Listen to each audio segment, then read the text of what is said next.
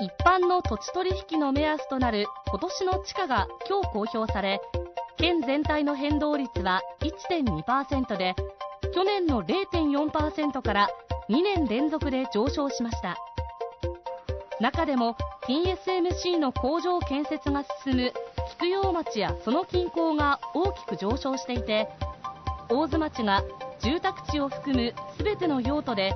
全国の市区町村で5位。商業地や工業地ではトップの上昇率です。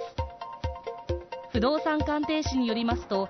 菊陽町の強い地価上昇を受け価格水準が低い大津町などに需要が拡大しているとみられ今後は土地の供給不足も懸念されるとしています。その大津町では町の様子が刻々と変化しているようです。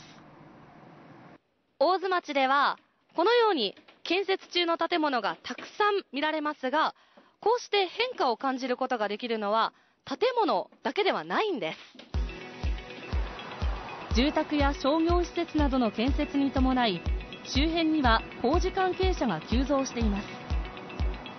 3月ぐらいから来年の6月ぐらいまでの、はい、予約をいただいてます。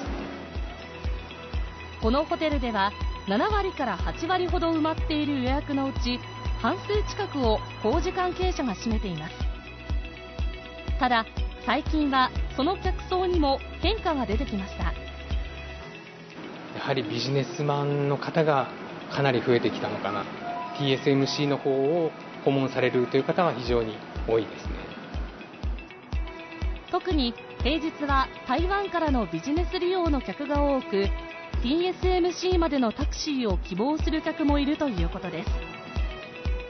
TSMC 進出をめぐる地元の目まぐるしい変化はまだまだ続きそうです。